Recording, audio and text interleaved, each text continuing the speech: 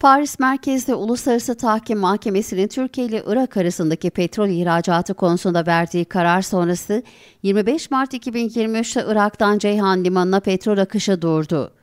Erbil ve Bağdat'ın petrol ihracatı konusunda henüz anlaşmaya varamaması nedeniyle Irak ekonomisi bir yılda yaklaşık 14 milyar dolar zarar gördü.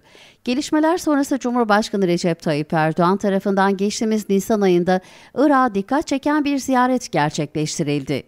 Cumhurbaşkanı Erdoğan'ın ziyaretinde yapılan görüşmelerde petrol ihracatı ile ilgili önemli gelişmeler yaşandı. İki ülke arasındaki petrol ihracı ile ilgili müzakerelerin başlaması kararlaştırılmıştı.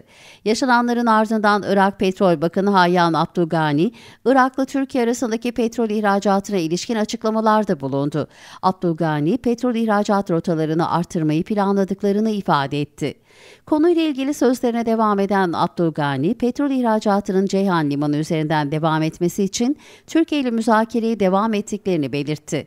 Irak'ta günlük petrol üretiminin 4 milyon varil petrol olduğunu da ifade eden Abdülgani, bu miktardan 3.4 milyon varilin ihraç edildiğini söyledi.